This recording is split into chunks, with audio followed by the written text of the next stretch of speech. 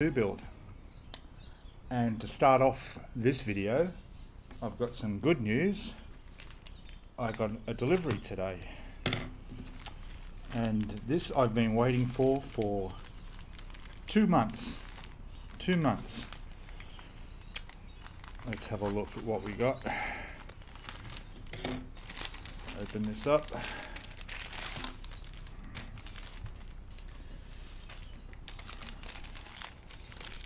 And in here, let's see. Ah. Drum roll. There we go. Look at that. LED lights. Finally. Now, now because I've got these, I can finally um, lay these out in the hole where I want them to go. Um, measure, I'll just show you in the directions here. So in here, the idea is to run one or two, depending how bright they are, I'm not sure yet, so I'm going to test it. Probably need two strips, and they'll go along the bottom on each side. These here, which are the supports inside, I need to cut them out so that I can get one continuous strip along the whole length. So I'll just cut uh, or sand a little bit of grooves in there, and also where they sit in on there, they're supported inside. I'll just uh, sand those down too so that the strips will sit flat. And then once they're in place, I can finally glue the whole together. So looking forward to doing that. Um, I have 10 meters of this, which is plenty. I know that I'm going to need probably two strips in the bottom and then probably another strip or two on, above on the next layer, which will um, do the balconies, light up the inside of the uh, ship on the top midsection, I guess you'd call it, um, of the superstructure. That's what a word I'm looking for but yeah, I'm really glad to have got these. And oh, and also, uh, I did manage to, if I can find it. Uh, oh, I can't find it. Let me just pause for a second. Okay, there it is.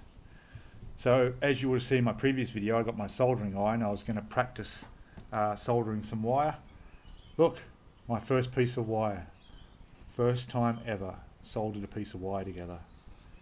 So I'm pretty happy with that. I know small things amuse small minds, they say, but uh, yeah, I'm happy with that. So I think I'm confident now. I think this gives me the confidence to do plenty more soldering.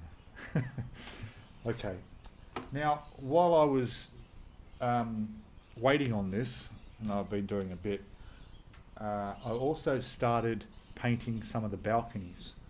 Now let me just remove all this stuff out of the way and I'll show you where I'm at with that back in a second. Okay, so um, now I almost forgot um, getting all excited about the LEDs. Um, please, if you haven't subscribed, subscribe. Hit the notifications bell so you get notified each time one of these videos come out. Um, what else? uh, comment below. I want your comments. Always comment, please. And um, give us a thumbs up if you like this video. You can wait till the end if you decide that. I don't mind. um, so, balconies. As you can see here, I've started painting them. Get this focus. There they are. So not too bad. They're, they're, I'm using XF78, which is a wood deck tan. That's the colour I've gone with. Um, I have to paint these individually.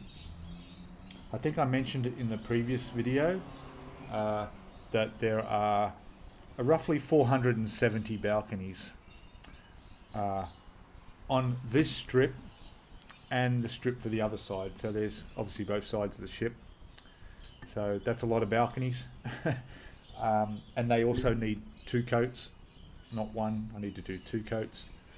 and then of course there's probably more than that balconies as we go up onto the superstructure itself, um, where all the uh, glass balcony railings are and all that. So there's going to be a lot more. So very repetitive, very time consuming. Um, I've got a few hints from people in the comments of uh, suggestions, like you know, sticking some sort of uh, contact um, down in there, and cutting out little pieces to put them down. But I wouldn't be able to get the colour I want uh, unless I painted it all first. And this is the best way. I've got a nice uh, tiny little brush here, and I just go in there, and it, it doesn't take long. I mean, it only took me two hours to do that. no, no, no, seriously, it, it took me about half an hour. I, am being very careful. One other thing with this is that a lot of these will be hidden. A lot of these you won't be able to see because um, it goes below deck. I think the bottom row is below deck. Um, let's have a look. So in the instructions here, that's what we're painting. That's how they sit. So they're sitting on the inside of the hull there. Uh, so you're not going to be able to see very clearly in there. You'd have to get up quite close. Um, but they have to be done, of course, because if you do get up close and have a look, um, you will see the, the flaws in there. Uh, I thought about doing the little, uh, the two little chairs and table on each balcony, but I thought that's going a little bit too far. Just, just a little bit too far. That would be probably about 5,000 chairs and 2,000 little coffee tables. Not going to happen. okay, so uh, I'm just going to, what am I going to do? Um, I'm going to paint a little bit more of this because uh, I'd like to get at least half of this done today, and then uh, and then I'll look at uh, working where these LEDs are going to fit in our in our hull. All right, so back shortly. Okay, hello, welcome back. So, what I'm up to now is um, I've just pulled out the hull and I'm just looking at where I'm going to place the LEDs. Now, here we've got both halves which are going to join up pretty much like that. Now, inside these, there'll be um, the supports that go in here. I'll just grab those. I'm glad you can't see can't see my desk because it's an absolute mess. anyway, and obviously I can only fit in so much of this ship. Um, anyway, so these will go in here like this. So the supports will go in here. There'll be one in there, and then we have one up here. And I'll just balance that in there for the moment. So you get the idea which is not going to do it for me now. There we go. So the idea will be to run an LED strip along the bottom of the hull there. And here's the piece that I've cut off my roll there they are there. Um, these you cut where the copper joins are, actually shows you uh, where the point is to cut them to the length you want and then you'll just solder a couple of wires to that if you need to connect this on to another one which I may have to. So this has to run along here. Now what I need to do is sand off a little bit under here uh, so that it will clear the width of the LED strip. Um, so take and same with this one just to make clearance because it's going to sit down there like pretty much like that.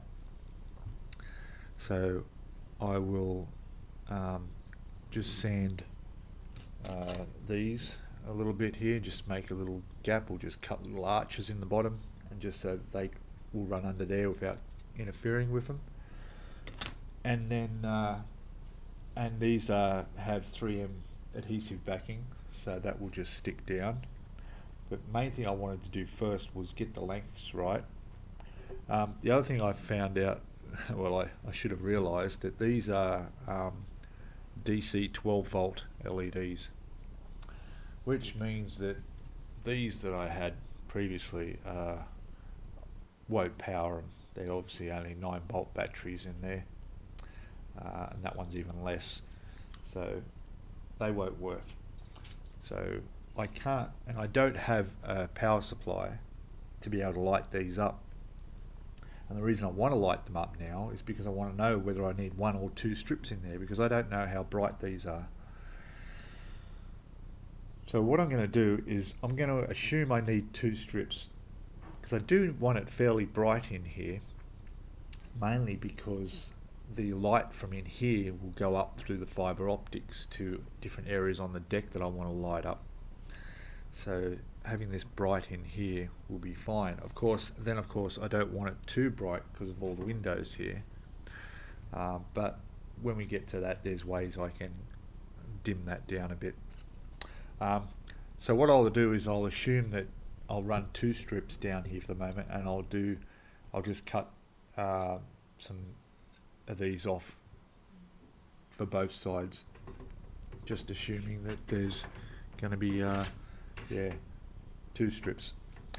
Now, once I've done that, and I've got the strips ready to glue in, I'm pretty much at the point where I can actually glue the hull, which is something I've been looking forward to being able to do because I really want to get painting on this thing.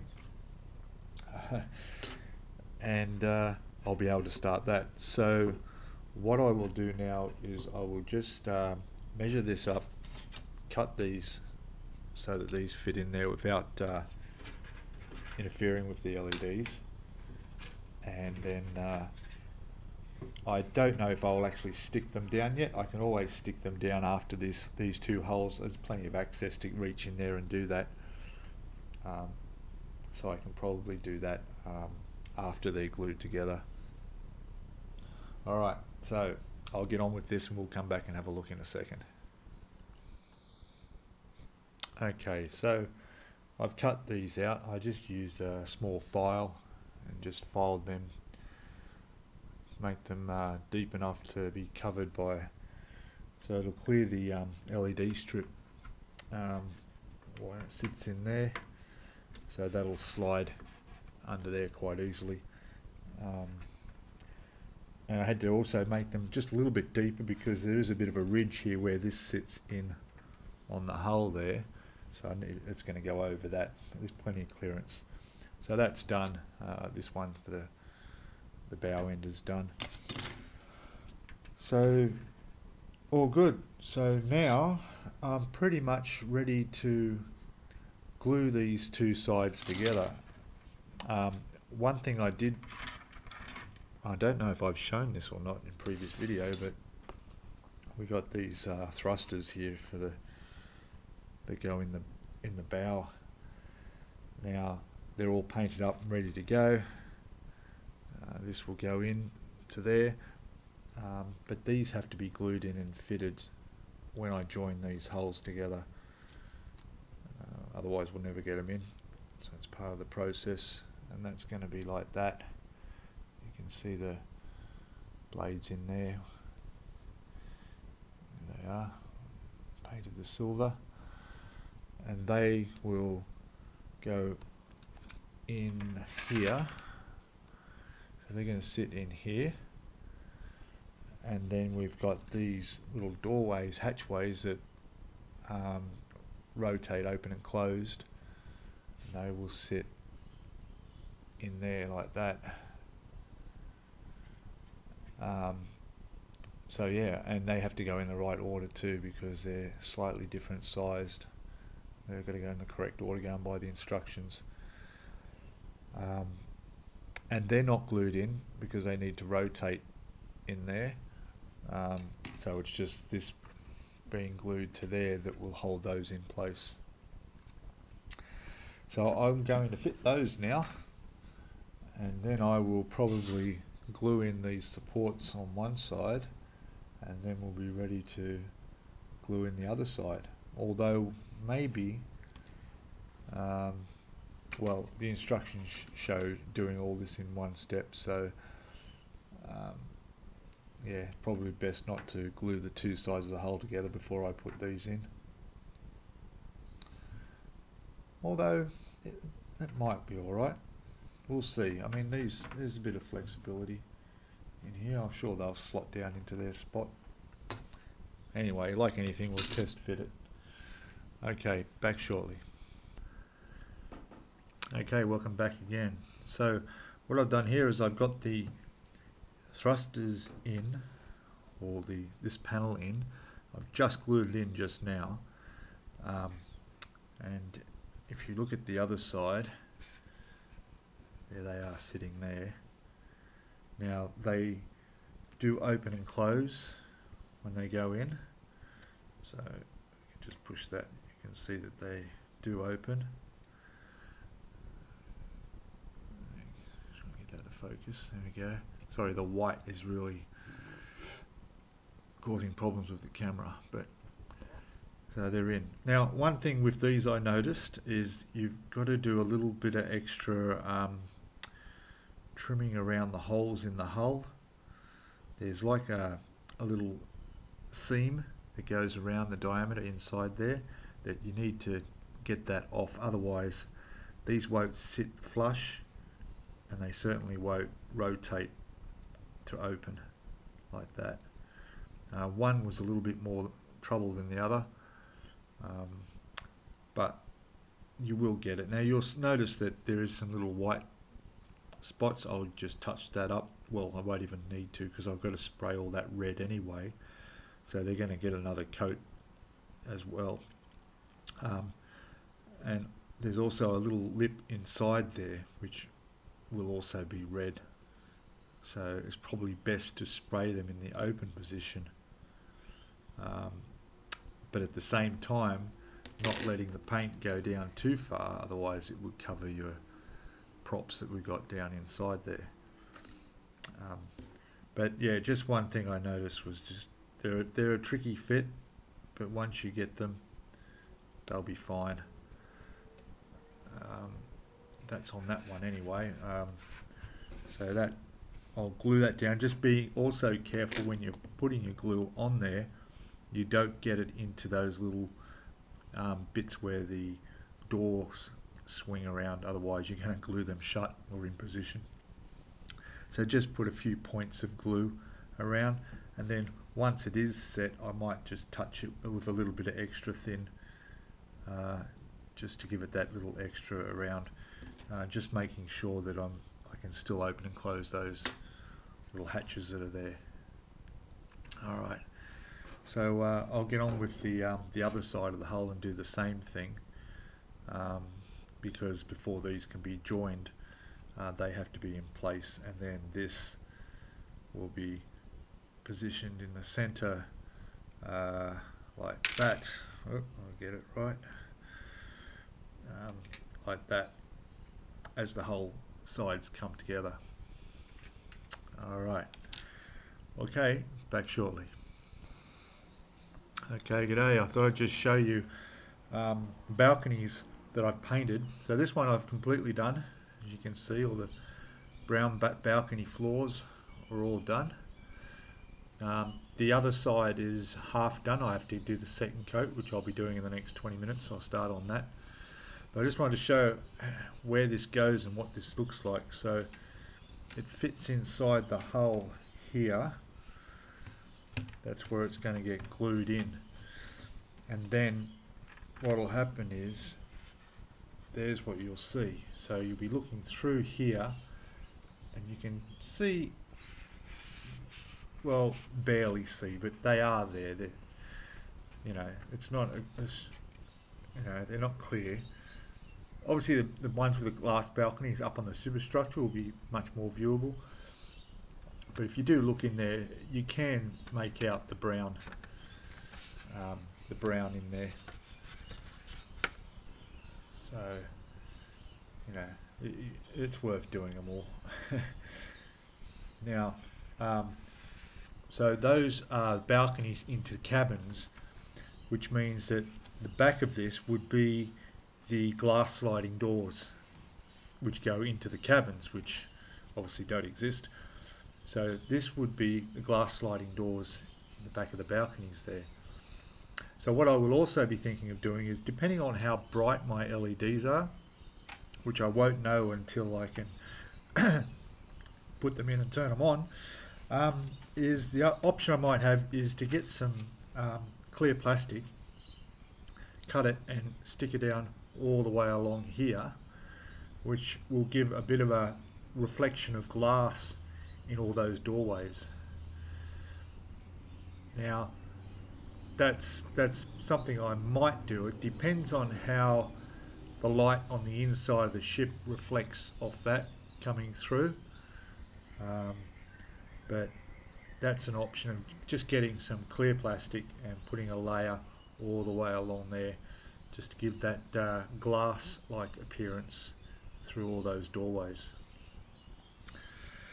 Okay, so um, I'll get on to painting the other side of this now, uh, the other row, and then um, probably looking at gluing the hulls together. But uh, we'll see how we go. I'll be back shortly. Okay, g'day back again. So, um, what I thought I'd show you was um, I also realised I needed to do the stabilisers that are inside the hull. Now, uh, these uh, come out of the side of the hull and um, stabilise the whole ship. And these have to be mounted inside. So I've painted, they're the actual stabilisers there. And they're the uh, gloss white, which I've painted up. They're fine. And then I have these which go inside the hull, which these things go into. Um, I thought they were black on the inside, I didn't realise, but they're actually supposed to be the same colour as the hull.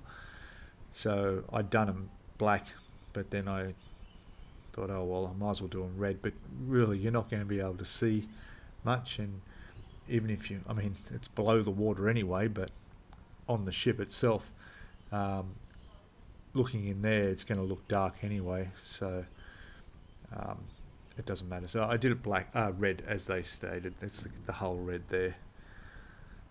Okay, so to give you an idea how they will sit inside the ship, um, they're actually on part eight, uh, step eight, eight and nine, and they sit inside.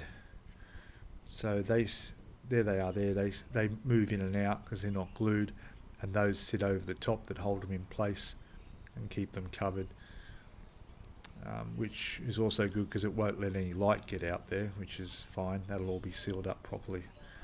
Um, there's four of those two on each side which are now done. Okay.